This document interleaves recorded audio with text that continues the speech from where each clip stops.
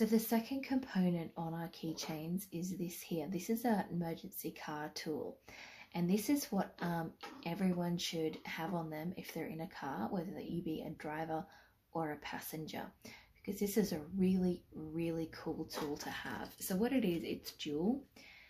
This has a metal spike in it and it's actually a window breaker for tempered glass. So you put this up against um, your window. It's best to do it in one of the corners because that's the weakest part of the glass. You push it really, really hard against it and the window will shatter and break off. So the second part of this is actually a seatbelt cutter. So if you pull this off, this is the exposed blade here. You put this up to your chest where your seatbelt is and slice it down and you will tear off your seatbelt.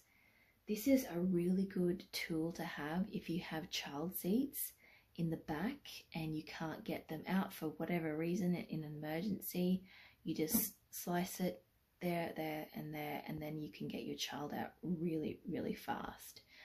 So even if you don't want to have this on your keychain, that's fine. Take it off and have it in the console of your car.